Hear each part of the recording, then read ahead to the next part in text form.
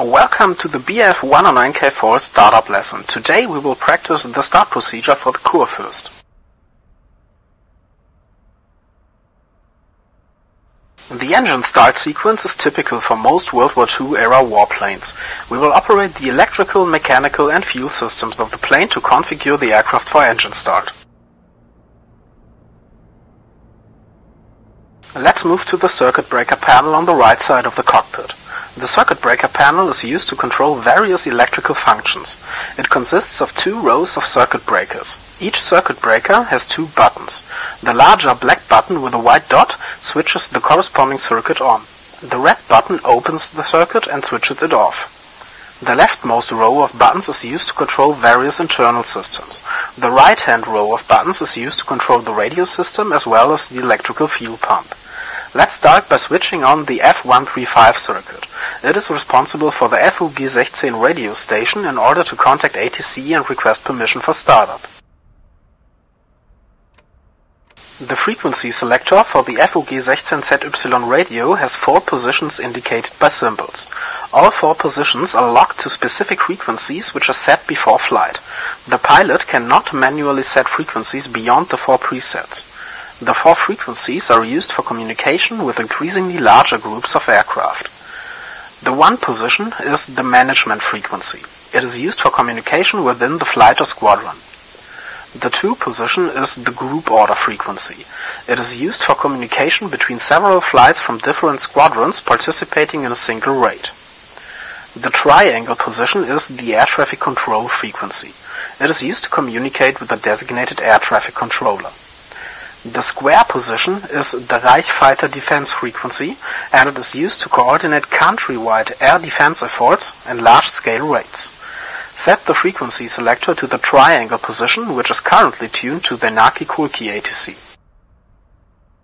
Adjust the FUG16 volume by rotating the knob into the center position, the second dot.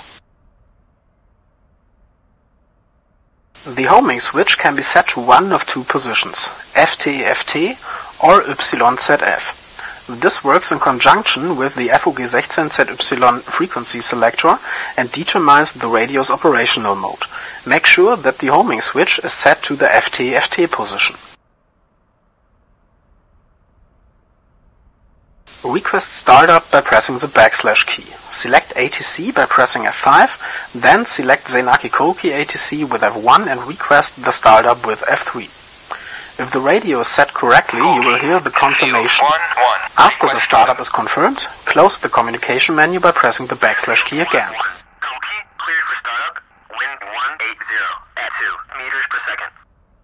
Switch on the V100 circuit. It's responsible for the MW50 system, the prop pitch automation, a landing gear indicator, compass, revi illumination and ignition. Good, now switch on the E101 circuit responsible for the fuel pumps. Now all circuits necessary for the startup are enabled. Set the water radiator lever to the open position to avoid potential overheating in case of a water radiator automation malfunction. Let's move to the left side of the cockpit and operate the fuel system. The BF109K4 uses a single main 400-liter L-shaped fuel tank located partly under the cockpit floor and partly behind the rear cockpit bulkhead. Two fuel pumps are provided, P1 and P2.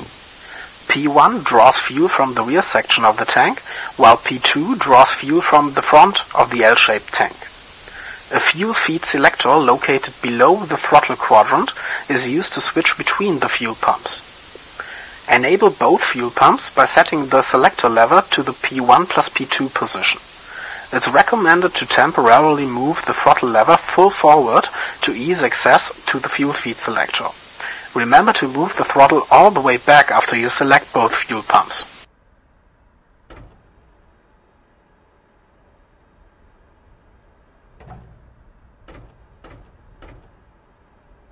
Good, now let's proceed to the ignition selector switch.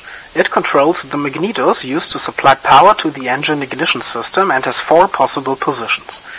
Only the M1 plus 2 position should be used to start the engine and at all other times during normal operation. Set the ignition selector switch to the M1 plus 2 position. Let's close the canopy to prevent any damage by propeller airflow when the engine is started. Push the throttle lever slightly forward, away from the minimum position, close to the red SU label. We are now close to starting the engine, so it's okay to raise the starter handle cover. Pump the primer pump handle for approximately 8 to 9 full strokes. When finished, secure the handle in the down position.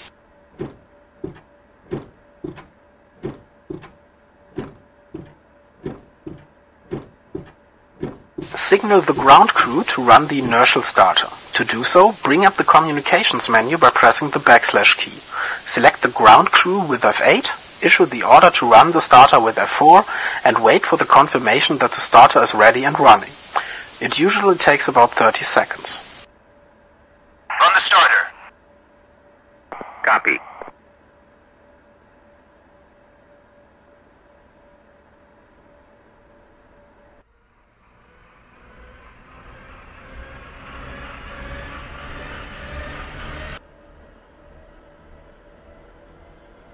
Use the left and right wheel brakes while you wait for the ground crew to run the starter in order to avoid moving during the startup.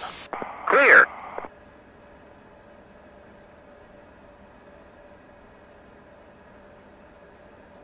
Hold down the brakes while you pull and hold the, hold the handle until the engine starts. Release the handle when the engine starts firing. Good start. Release the starter handle. Close the starter handle cover.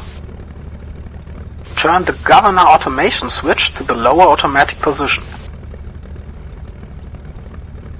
The water methanol injection system can add additional power to the engine and helps to avoid detonation.